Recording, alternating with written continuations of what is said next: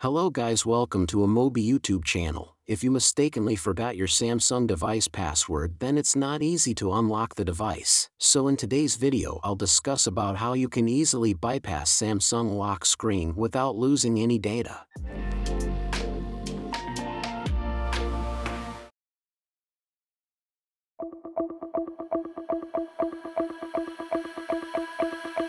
Here in first method just open your device's settings and then got to lock screen and security option.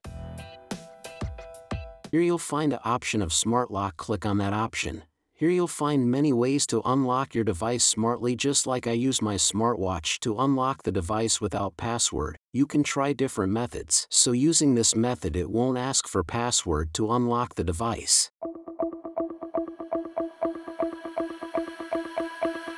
Here in second method just download DroidKit from description link. After that click on the screen unlocker feature, and then hit start option and it will prepare some files for your device after that hit remove now option. And then follow the steps and wipe the cache partition in the device and then reboot your device.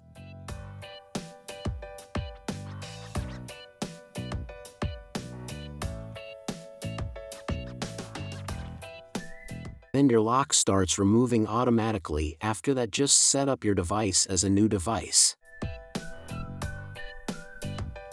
Thanks for watching the video, make sure to subscribe to our YouTube channel for more awesome content and comment down below if you have any query.